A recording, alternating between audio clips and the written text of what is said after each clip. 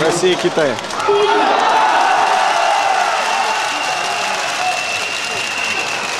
Бля.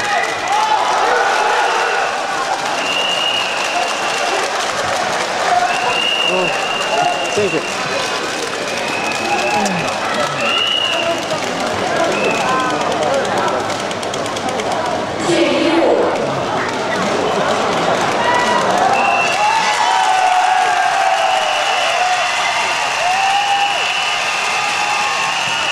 Вот и все.